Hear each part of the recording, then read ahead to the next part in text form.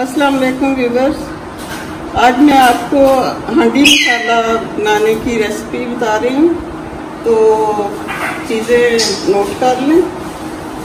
तो आप खुश रहें जहाँ भी रहें आबाद रहें। तो ये मैं आपको बताती हूँ कि आधा किलो लाल मिर्चें पिसी और एक पाव जो है वो धनिया पिसा हुआ और 250 ग्राम मेथी है सूखी और एक पाव जो है हल्दी है।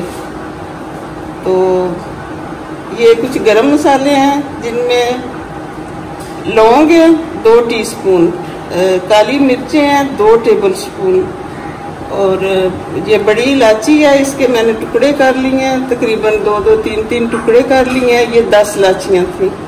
और दस ही ये हरी इलाचियाँ और ये डेढ़ टीस्पून लौंग है। और ये सिनीमन है, जिसके मैंने छोटे छोटे टुकड़े कर दिए हैं, ये है। तो ये बहुत अच्छा मसाला है, मैं अपने घर में भी यही यूज़ करती हूँ। तो आप सब्ज़ी बनाएँ गोश्त बनाएँ, या आप पराठे बनाएँ, जैसे आलू के पराठे हैं मूंगली के पराठे हैं माश की दाल के पराठे हैं। तो उनमें भी आप यही मसाला यूज़ करें, बहुत अच्छा टेस्ट आएगा, सब्ज़ी का बहुत अच्छा टेस्ट आता है, आलू गोश्त का बहुत अच्छा टेस्ट आता है।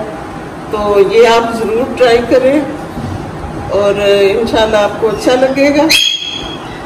चलिए अल्लाह आपका हामी नासर हो। अल्लाह हाफिज़। आज मैंने ये हांडी मसाला है, बहुत ख़ास मसाला है, ये मैंने आपको बताया है। तो आप मेरे चैनल को सब्सक्राइब करें, लाइक करें और फैमिली मेंबर और दोस्तों से शेयर करें